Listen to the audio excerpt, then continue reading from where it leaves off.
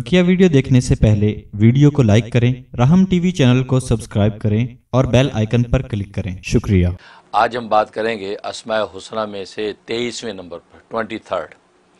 कि तेईसवां जो है अस, असमाय इलाही जो है वह है अलखाफिदु। अलखाफिदु का माना है पस्त करने वाला। ज़ाहिर है कि अल्लाह तबारक व ताली की खासा है कि अल्लाह तबारक व ताली कुफ़ार, मशरकिन को शिरक और जलालत की गुमराही के ज़रिए से पस्त कर देता है। इसी तरीके से ालमों को उनके जुल्म की वजह से पस्त करता है। इसी तरीके से अदुलसाफ़ के तराजू को पस्त करता है, क्योंकि एक पलड़ा बुलंद है तो दूसरा पलड़ा पस्त करता है। इसी तरीके से इंसान जो है, उसके सर को बुलंद और पाँव को पस्त करता है। तो वह कि अल्लाह तबारक व ताली का ये खासा है कि पस्त करने वाला अलखाफिज़ खा, अली, फ़ा और दुआत।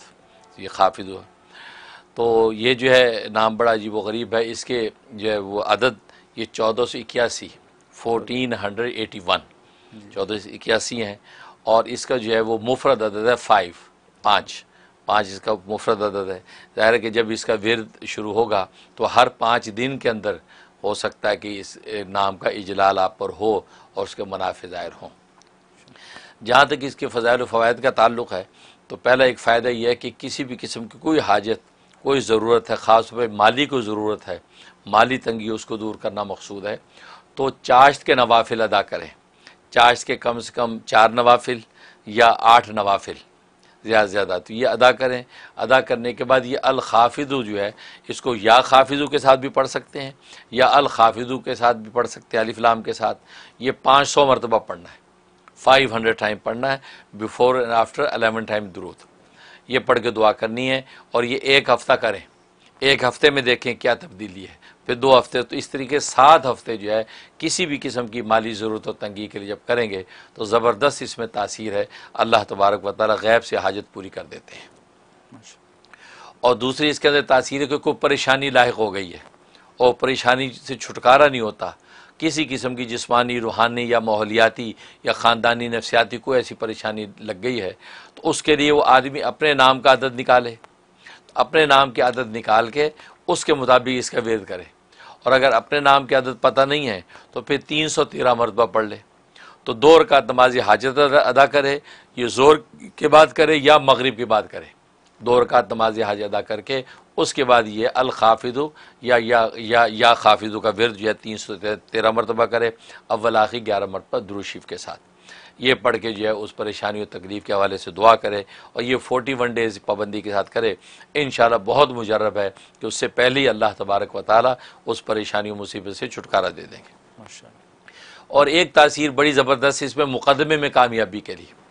मुकदमे में कामयाबी के लिए अगर चाहता है कोई तो तीन रोज़े रखे मुसलसल। अच्छा। हाँ उस वो बंदा जिस पर ये मुकदमा हुआ हुआ है या उसका कोई खूनी रिश्तेदार उसकी माँ है भाई है बाप है तो खूनी कोई भी रिश्ता वो जो है तीन रोज़े रखे। तीन रोज़े रखने के बाद जो है वो चौथे दिन जो है सत्तर हज़ार मरतबा का इसका ख़त्म करना है।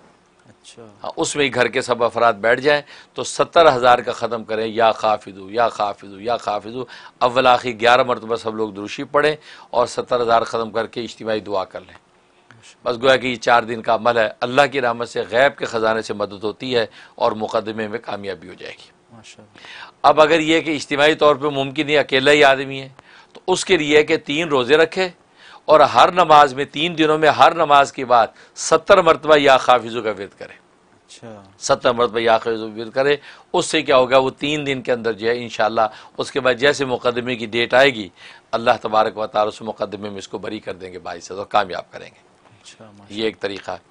और एक इसमें कोई दुश्मन से छुटकारे के लिए, दुश्मन बड़ा मोजी है, सताता है, परेशान करता है और हर मौके पे इस पर रुकावटें डालता है।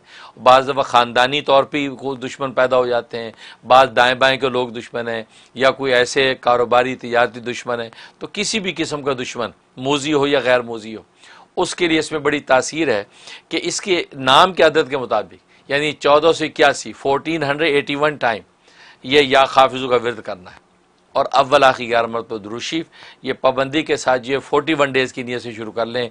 किसी एक नमाज़ के बाद करें या जो है जोहर के बाद कर लें या ईशा के बाद कर लें। करके जो है वो दुआ कर ले। इन किसी किस्म का भी दुश्मन होगा अल्लाह तबारक व और दुश्मन को पस्त कर देंगे और जो जेर कर देंगे और इसको दुश्मन पर कामयाबी होगी। ये इसके अंदर बड़ा नफ़ा है।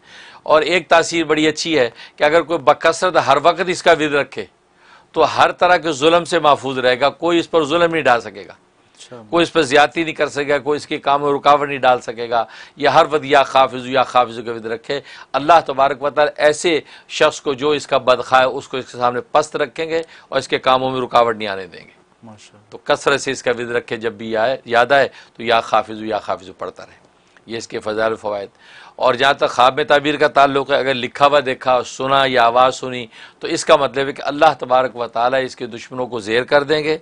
और इस वक्त ये किस जिस मुसीबत और परेशानी में है अल्लाह उस परेशानी से उसको निकाल कर इसको मरतबर बुलंदी अता फरमा देंगे। तो ये ख्वाब में ताबीर भी इसकी बहुत उमदा है। माशा बहुत खूब बहुत ही अच्छे इसके मुनाफे हैं। अलहमदिल्ला तो नाजिन ये थे अलखाफिदों के फ़ायदे। अल्लाह ताला से हम दुआ करते हैं कि अल्लाह ताला इसको हमारे ज़िंदगियों का हिस्सा बनाए।